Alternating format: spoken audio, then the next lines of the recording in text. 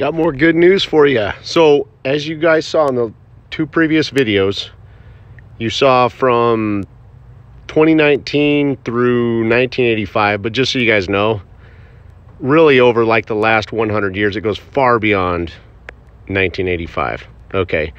Pretty much for about the last 100 years, the IMF has actually when the IMF has initiated the rate changes, they've always done them around the end of April, just so you guys know, okay? So they've done most of the the IMF when again when the IMF has initiated the rate changes, they typically do it at the end of April for the IMF's new fiscal year which starts May 1st, okay? So I want to stress to you right there, even the IMF has positioned and and performed the timing of Iraq's small rate changes to occur at the end of April for the beginning of a new fiscal period. Again, it's the IMF's fiscal period starting on May 1st. So as you see, I'm trying to show you how these are linked to fiscal periods, okay? So you have that. Then, but then there's two of them. The two that you saw, that you see right here on the screen from 2003 and 2004. These were not initiated by the IMF. These were initiated by the Central Bank of Iraq.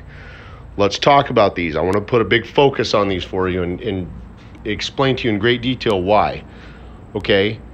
Why did because the one the reason why here's why they um so they have one in in September of 2003 where it shows a rate of 253 but why why do they have one in September of 03 okay then as you guys see, they have one for September 22nd of 04. That's the one where it devalued, guys. I've, I've, I've figured out why they posted the one in September 8th of 03. Let's look at this. Right here, guys. That's when they released the new Iraq dinar that you and I as investors hold. But keep in mind, when they did release this, they actually had coins in circulation too.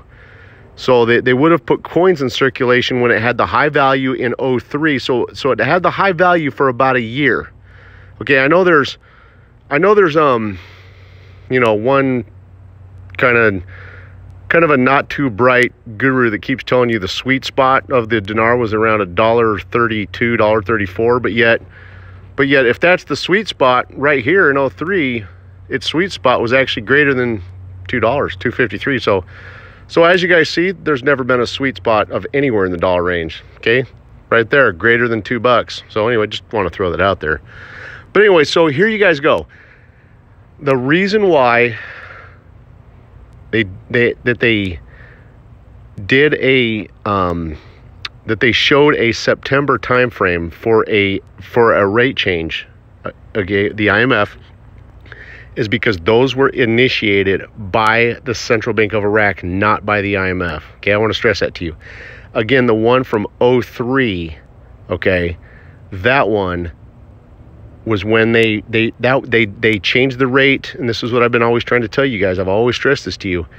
They changed the rate in September because the new fiscal period was in October and as you see, according to this factual article, they released the brand new currency notes as of October 15th of 03. Okay.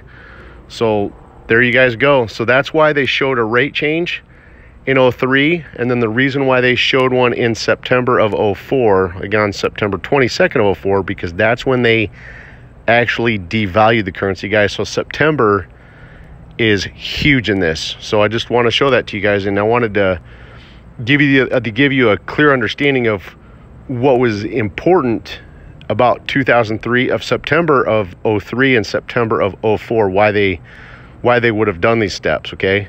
But now you guys know it's because September of 03 okay again October's there was their new fiscal period. Fiscal periods as you guys see have everything to do with this and I've always stressed to you guys accounting periods accounting periods accounting periods. So as you guys saw October would have been the start of the of the middle of the year fiscal period. That's why they would have released the the new notes that you and I as investors, the newer Iraq we hold that. They released that on October 15th of 03. So they changed the rate before that new fiscal period at the end of September. And guys, I brought you almost three weeks ago now. I've been stressing to you the end of September. Now you guys see why I've put a huge emphasis on it and I'm bringing this to you. So there you guys go. You guys have a great night.